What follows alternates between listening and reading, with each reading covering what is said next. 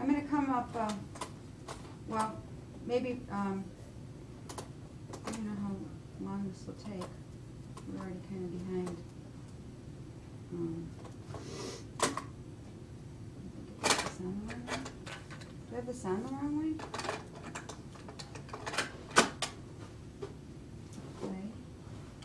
Today, we're in, today is uh, Tuesday, April twenty-fifth, two thousand and we are interviewing Brian Kelly, who is a veteran from the Vietnam War. We are at Orchard Park High School in Orchard Park, New York, and the interviewers are, Joelle Cranston. And Jen Smith. oh, Jen Smith, okay. Um, I'll be back in a little bit, girls. Okay. Thank you. Okay. I didn't know what you were interested in, so I watched an old army blouse to see if you want to look Okay. at that. Okay. I have a picture, they call it a DD two fourteen, that's a separation orders in the military.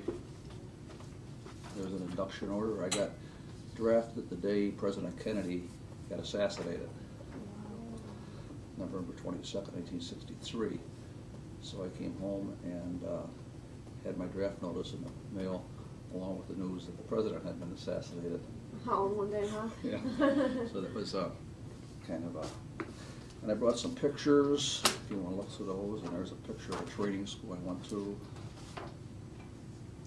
Where are you in? That's me, over there. Seems so long ago.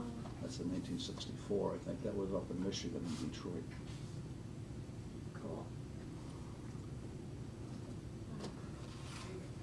I think that picture is some Fort Dix. That's a picture in Korea. Most of these pictures are from Korea, because I spent most of my time there. Uh-huh.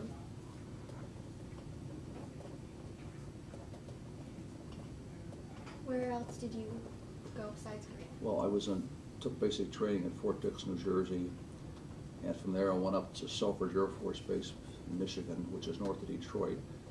And, but I spent most of my time at a place called Fort Wayne, which is in, right in the city of Detroit. And from there I went overseas, and I spent the rest of my military time overseas. When I came back, I got discharged. If you came back from overseas and you had less than ninety days of serve, they just discharged you. Mm. So I came back, I had uh, thirty-some days left, I think, so I got discharged as soon as I came back. So I got discharged at Oakland, at the Oakland Rep Depot in Oakland, California. How long did you actually stay um, overseas? Thirteen months.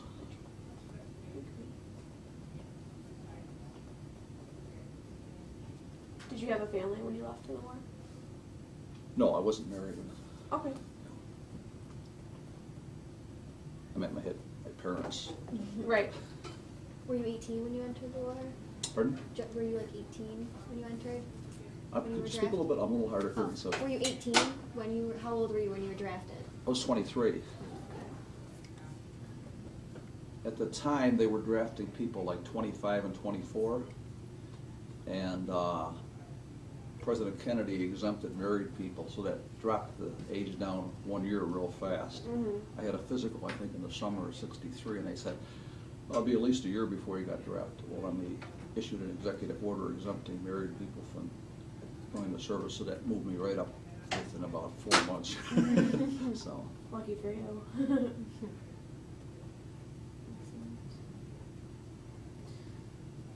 um, what kind of influence did the whole experience have on you? what kind of what? Influence? Like on just you yourself, like kind of feelings that you have about it? Oh, I think the influence, pro- uh, the military had a, probably a big influence in my life in, in a lot of respects as far as learning discipline and learning, uh, take orders, um, I got to travel a lot of places like Korea, I probably would've never went to Korea. Mm. I briefly was in Alaska, uh, places like that I probably would never have gone on my own, you know, so. So it was a good travel experience? Yeah, so there was a lot of travel experience and, uh, at that time, there was a lot of World War II people still in the military, so most of the senior NCOs and officers were on the World War II people, so you got to learn about, World- a lot about World War II and Mhm. campaigns in the Pacific and the Europe and that type of things. Okay. So you got a lot of first person perspective from the war, from all the other Um, people were there. And that was World, uh, World War Two. You said that you learned a lot about. Well, most of the, you know, senior NCOs at that time were World War II people and uh, senior officers would be Okay. the most part. Um. Did any? Did you ever get wounded or hurt or anything? No, war? I was never in a combat situation, so I was. Okay. Vietnam was just breaking open at that time. I was kind of at the beginning of that. And the people going to Vietnam were all volunteers who went for six months. Mhm. And they went as advisors to the Vietnamese army. Mhm. And they spent six months and came back. And in uh, July of sixty-five, I was in Korea. And President Johnson escalated the war and they sent five hundred thousand troops. And we expected we were all gonna get sent from Korea to Nam, but that never happened. Uh, What, basically, all they did was stop sending replacements for us. Okay. Because as, usually before you rotate it, this, um,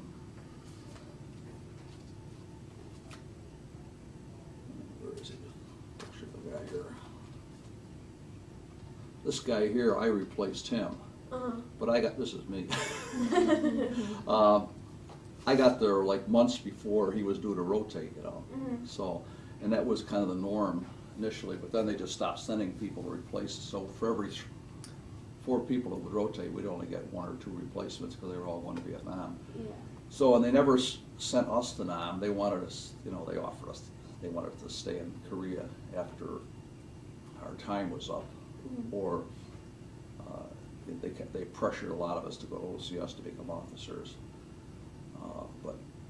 There wasn't anything they could do to keep you at that time. Mhm. So when my time was up, I just left, so. So you didn't want to become a leader or anything, or just continue it? Just wanted to get out. No, I had, um, I worked at the, for General Motors before I went in the military, and I had a pretty decent job there. Mhm. So I wanted to return and come back, you know. Right. When I went in the Army, you paid sixty-five hours a month, so it wasn't uh, exactly Yeah. someplace you wanted to spend the rest of your life, you know. Right. Yeah. I think when I got out, I only made uh, hundred and eighty hours a month, so. well, it's better than sixty-five. And did you go back to General Motors Yep. as soon as you got back? Shortly thereafter, I took a little vacation. Did you guys ever have any like leisure activities that you could do, or any entertainment while you were there? Well, we did, I did quite a bit of traveling in Korea, Mhm. and uh, I taught school, I taught English in a school for a few months, maybe six months. They, they had a lot of school, or there were a lot of Korean students who were coming here to do graduate work, Mhm. and their English was less than perfect, so they had these schools, and they paid GIs to teach English. And what we taught was just conversational English, not grammar that sort of thing. Yeah. Because the Korean schools, all these people had had many years of English, but they didn't, they could talk, but they didn't know what they were, they didn't understand what they were saying. Okay. And that was the English style of teaching languages to foreigners. They taught them all the grammar and all the rules, but they didn't teach them conversational English. Right. So we would, I would spend about two hours in a room with st- these students, and we would just talk, and they would ask questions, and I would try to explain uh, what words meant, you know, because there's so many double meanings in English and that kind of Yeah. thing.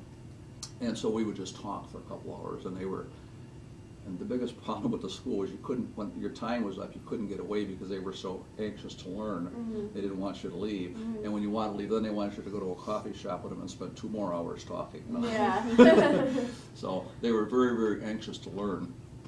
And it was kind of interesting because they could, if you wrote something on a blackboard and you made a, uh, a grammatical error, they could point it out to you immediately because they knew all the, the, the rules. Mhm. But they didn't, didn't understand what they were saying or what they're, they could read, they could read from a book and they didn't comprehend what the, uh, what was it, what they were reading, you know, Yeah. so.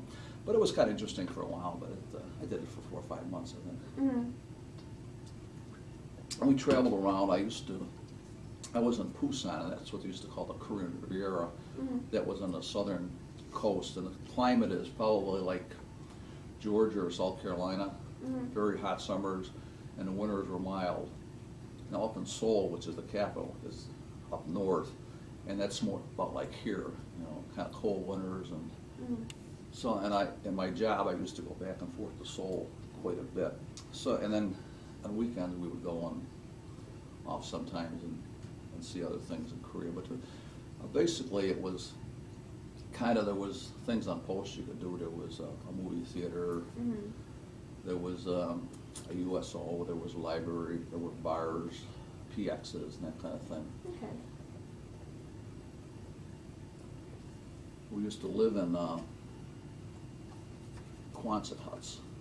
Those were quarters. Is this in Korea? Pardon? Is this in Korea?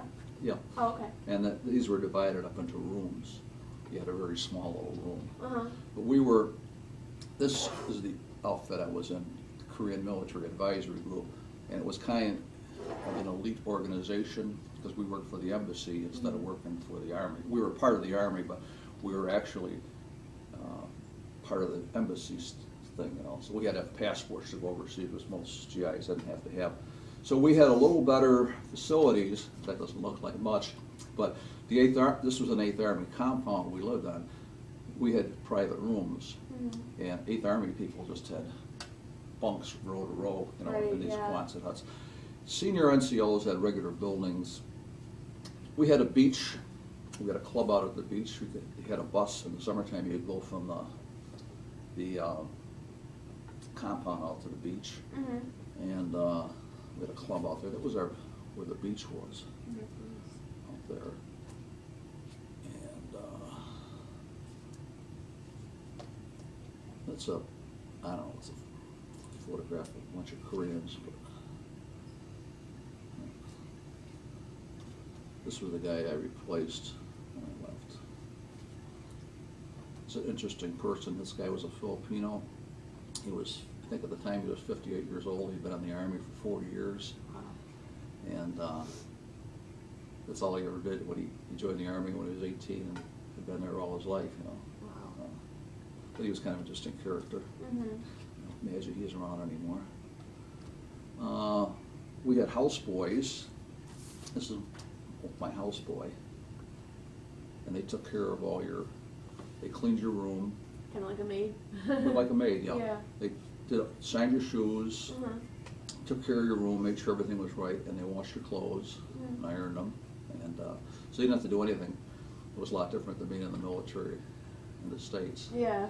I could have never, if I'd ever had to come back and, and uh, do all that stuff myself, I probably wouldn't have made it. Right. But these guys made, you gave them three dollars a month for your personal services and four dollars a month to do your laundry. Mhm. So you paid them seven dollars a month.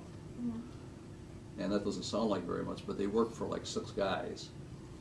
So if they made forty dollars a month, they were in the elite in Korean society. The Doctors only made about thirty or thirty-five dollars a month. Mhm. So they were pretty affluent for Yeah, the situation. So, and they did, they did everything perfect. You never had to worry about anything. Everything, your clothes were always pressed perfectly, and your shoes were always shining, and your room was always neat, and your bed was always made, and uh, Yeah. they, um, it was kind of a neat system, you know? Yeah, right? You could really get spoiled, you know, Uh-huh. because if you came back and you had to do all that stuff, like here, you had to do all, Yeah, do your really own kinda laundry and take care of your own Yeah. living quarters and that kind of thing, you know? Yeah. Uh, There's a church in Korea. This is just part of a village. Mhm. That's part of the village again. That was me at the beach. Parties, we did a lot of partying, I guess. This were, I think this was in, uh, it was, this was in Seoul, uh, in the middle of the city. That's me again. And you can see the whole country is very kind of rugged mountains and, uh, Yeah. a lot of, uh,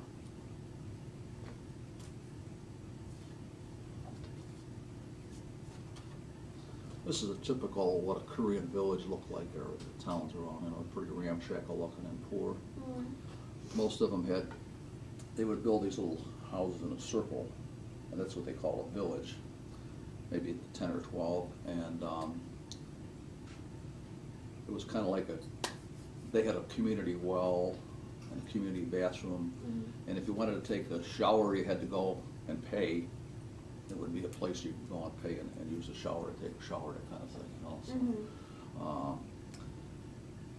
And uh, these so-called houses were very, extremely small. It was just really usually one room, you know? Mhm. And the bed might be in a, with a curtained off area or something, but it was, they weren't as big as uh, the way we were sitting in here, you know? Yeah. If you drew a line from that column over to that column over to here, that would, it would be that, would hardly be, barely be that big. Yeah. So, and then they did their cooking outside, then they had a little, they used to heat the place with these charcoal briquettes, and they used to cook with that. And, um, it would be a well, and, uh, that was, that was the way they lived, you know, so. Yeah. Uh, this is in Michigan, this was a school I went to, and, uh, that was a place called Fort Wayne in Detroit. And that was, I went to Michigan in the spring of sixty-four, and I worked for a major who had, I was a clerk. and he- He hadn't had a clerk in ages, and he was just so thrilled to have a clerk, right? Mhm. So then they sent me to the school, and he lost me for th- three months. He was all upset when I left. Yeah. So then I came back, and he was all thrilled. I was only back a week, and I got orders to go to Korea, so. So- Did you um were you able to talk to your family a lot? Pardon? Were you able to talk to your family a lot? Uh, very rarely, because long distance phone calls are very expensive, you know? Yeah. Uh, when I were overseas, I could never talk to them. Really? Oh, that we would send letters. Okay. And occasionally we would, when I would call, you know, when I was here, Mhm. but it would cost a fortune to call from, you know, from Michigan to here, or from here Yeah, to here, right. California or something. Yeah. Like that now- nowadays, I, my, s- I have two sons, one lives in California, one lives in Maryland, and we talk, you know, anytime we want, you know? Yeah. And, uh, but in those days, it was expensive to call, you know? Mm-hmm. So, I mean, relatively expensive. So I very rarely talk to my family. We- We just, I used to write a letter to my mother every week, and she would get upset if I didn't write a letter. Oh really? So I had a time, it was like Thursday at one o'clock, I used to sit down and write her a letter, so. Yeah. She'd get a letter every week, you know. But that was our only communication, and, and you could try to call from Korea, and the only way you could do it was through Army radio, I forget what you call them, but anyways, you had to get a relay from Korea to Japan, to someplace else, to someplace else, to California thing. And it was, I, I tried it a few times, and I was never successful in doing it, so. Where did your family live when you were over there? Where did they live? The rest of your family? But here, they live here. Oh, really? Yeah, Yeah, I'm Okay. from here originally, so. Okay. yeah. And did you stay in touch with the? Did you make good friends and stay in touch with them still? I made a lot of good friends, and after I got out, we, s- there was a few I stayed in touch with briefly, but not over, a you know, extended period of time. I haven't had any contact with any of those people in years and years and years, you know. It seems people from World War II uh, got more deeply involved with the people they were in, because in, in World War II, when you went in the military, um, you get assigned to a unit, and you stayed in that for the duration. If the unit moved, you moved. Well, after that, they changed the system, and so rather than moving whole units, they just moved people around. So you didn't spend, like World War II guys would spend four or five years with the same people, you know? Mhm. And they still have reunions to this day, these outfits, you know, they, Mhm. they go all over the country and, and have reunions, but, uh, the thing kinda died out after the World War II era, because you didn't really spend that much time with people, you know? Right. I mean, I made a lot of good friends, like I say, we we kept in touch for a while, but, you know, you kinda just, Drift apart. Yeah. maybe. just like people you knew in sixth grade, you know? Yeah. Yeah, probably not they- friends with them now, yeah. Did you win any awards? pardon? Did you win any awards? Any awards?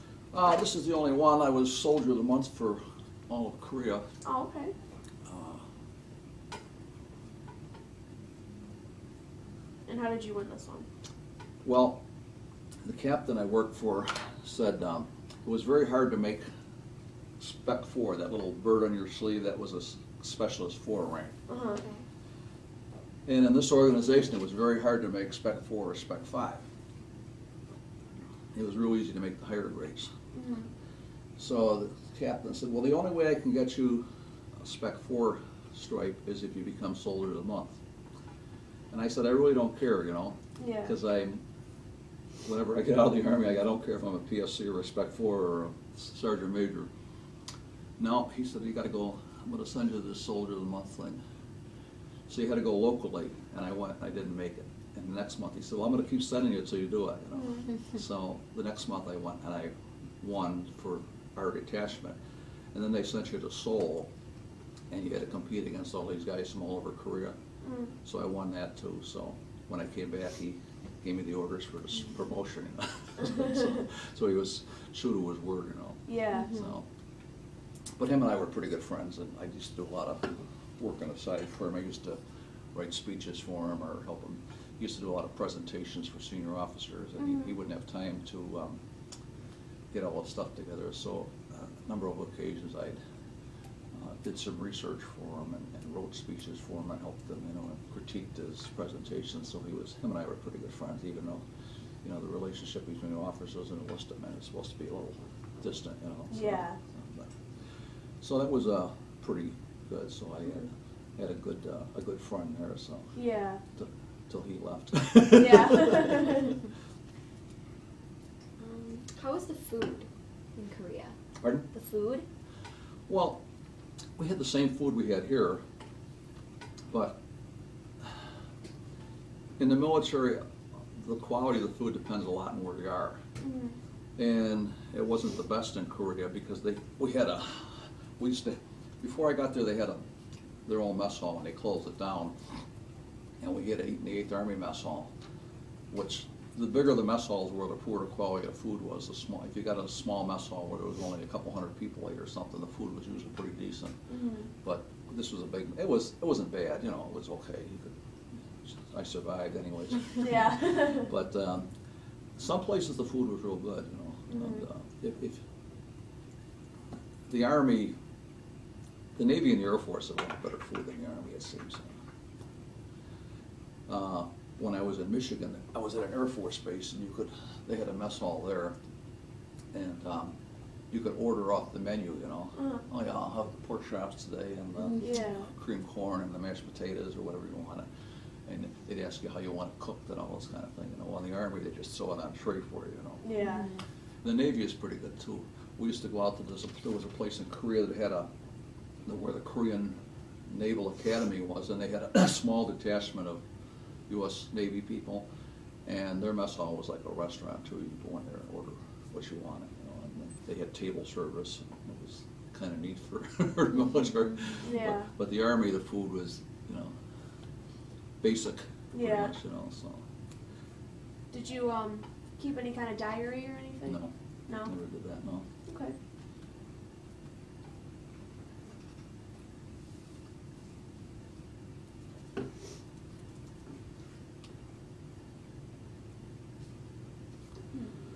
So I don't know what else I can tell you. Uh, probably a lot of things when I walk out the door. I say I should have told them this or that. But, um,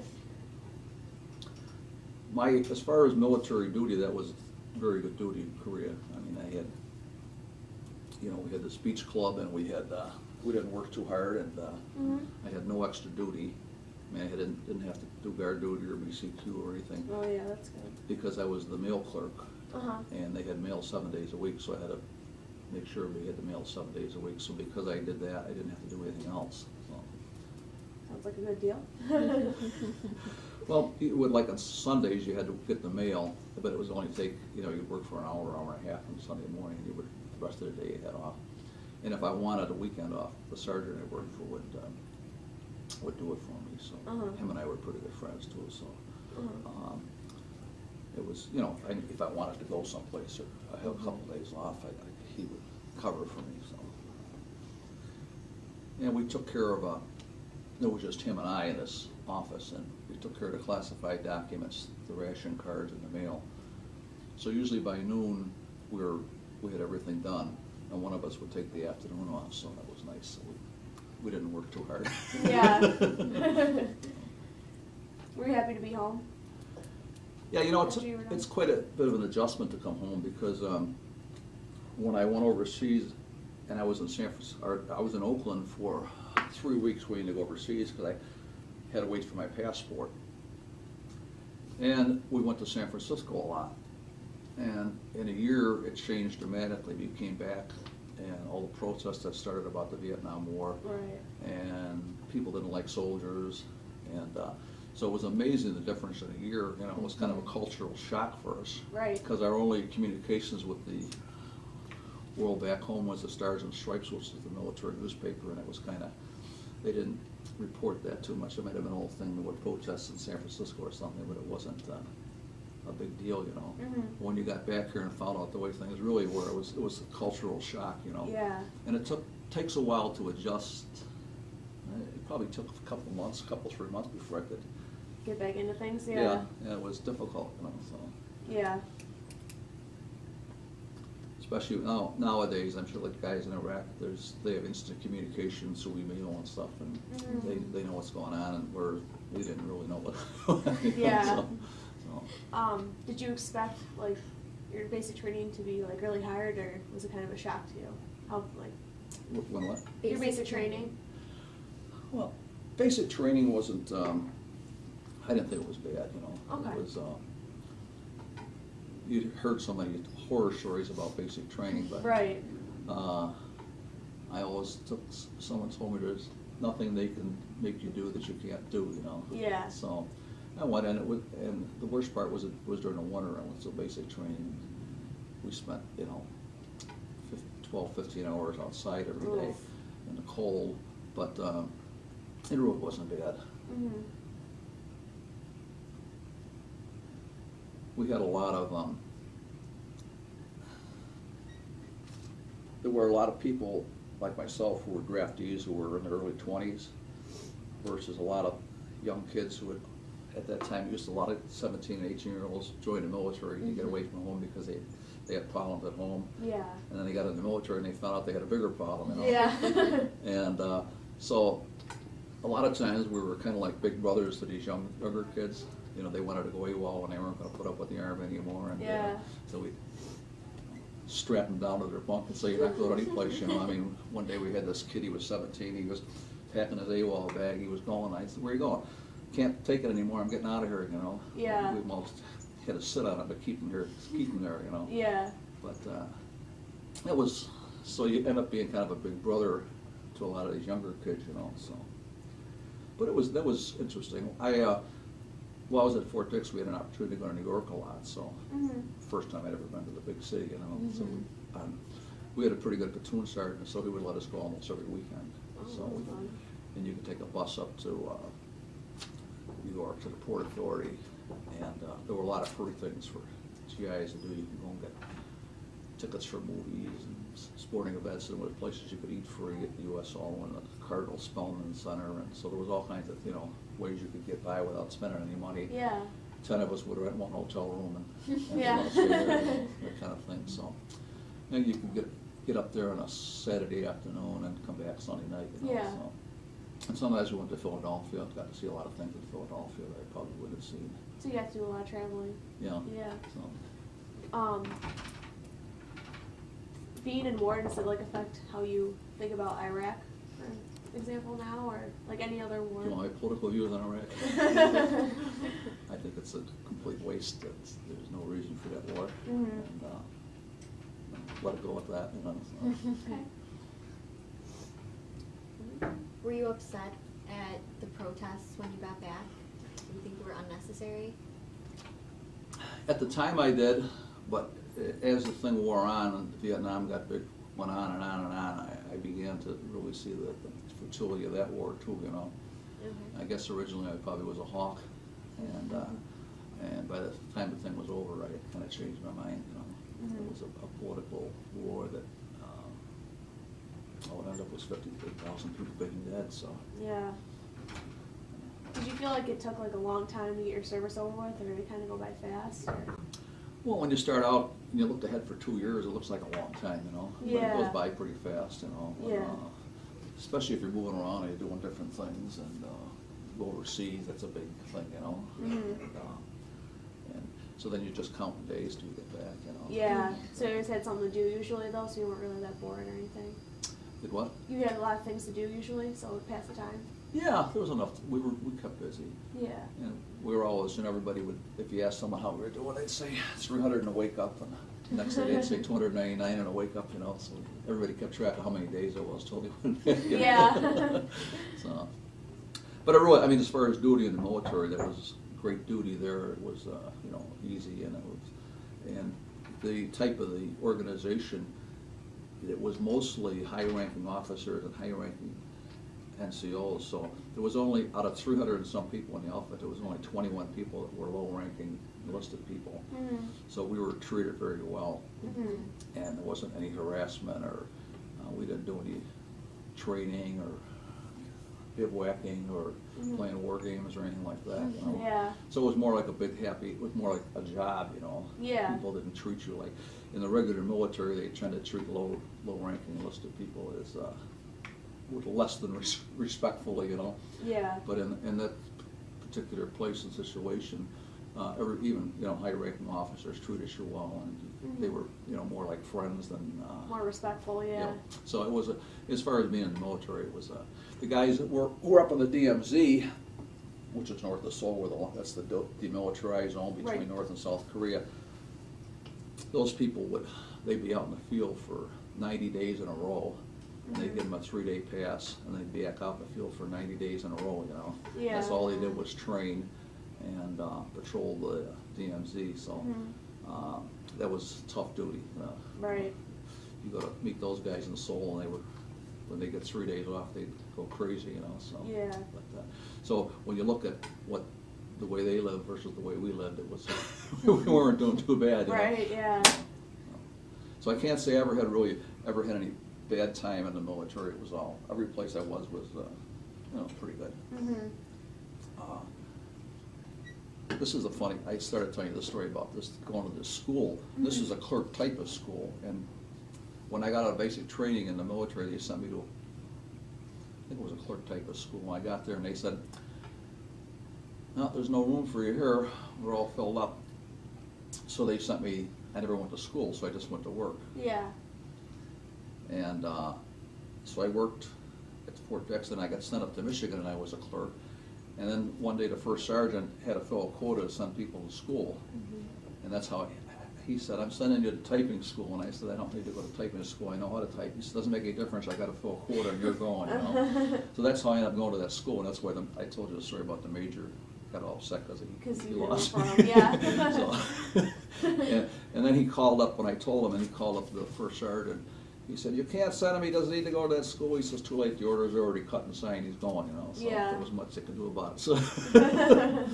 And then we got down here, and this guy was the teacher, and he said, does anybody know how to type, and blah, blah, blah, and it was three or four of us, and he said, all right, he said, you come here every morning, sign in, and I don't care what you do, get lost for the rest of the day. Yeah. So that's what I spent, did for three months, you know, and he'd say, well, there'll be a test or something on this particular day, and we'd go and take the test, and the rest of the day. Yeah. We wandered around Detroit and went down the, the, the water, this was, place was right on the, on the, on the Detroit River, so we, it was a Uh-huh. vacation. Yeah. Then I used to come home, it was near the train station in Detroit, and on Fridays, I could run down and grab the train and come, I'd be down here in four hours, you know? Yeah. And it used to cost six dollars if you wore a uniform to take the train. So I'd come home and I'd go back Sunday night then, so that was kind of a little perk there. Yeah. Yeah. Um, did you know a lot of people who spend like their whole life being in the war, being involved with it? It's, you know, most of the people that were career military people were from the South. Uh huh. And, because it was so poor in the South in those days, you know. Yeah. And a lot of them had no other opportunities, so they stayed in the military, where here there was a lot of things, you know, this area was booming at the time, you could, there were plenty of jobs, there was a lot of, uh, lot of economic activity. But in, down south, a lot of those guys stayed in the military, because they all said there was nothing to go home to, you know, so. Yeah. it was, uh, And once you adjusted to the military, I guess, it wasn't too bad a life, you know, you could, you could learn to, uh, learn to live with it. Right. And, you know, and they, they, they got married and they had families and the military brings your family and sends all your possessions around the world with you wherever you go, so. Yeah. Uh, Nowadays, I guess, more people from this area, I think, tend to stay in the military, or, or people that did stay in this that were from the, were mostly officers, that was, you know, if they were career officers, but as far as enlisted people, Mhm. it was kind of uncommon for people from the north to stay in the military. Okay.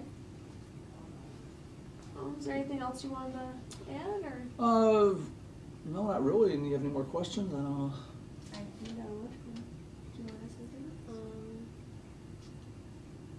You said that you don't really do reunions; they kind of died out after World War II. We're, There- we're, Yeah. yeah, huh? Yeah. Yeah. yeah, Okay. so, so we're just about wrapping it up, I think. Good, because the period's gonna end and I wanna get a couple shots and stuff, and I wanna hang up the flag. I think the Okay. tape player stopped. Yeah, it did. Oh. A. Yeah. Did it stop after, uh, a bun, after, I mean, Couple quite a minutes while, ago. or? A couple months ago, yeah, it wasn't very All long. right, then I'll have to remember that, that the uh, next, because I think it's thirty minutes per side. Okay. So, let's, can we, can we hang up the flag here and, um, guys, oh, Is it okay if we use these pictures for our Sure. presentation? I, okay, I probably might, I, I could get a photo of this, I think I could get this, Okay. hold that up like that. You guys done? Yes, Okay.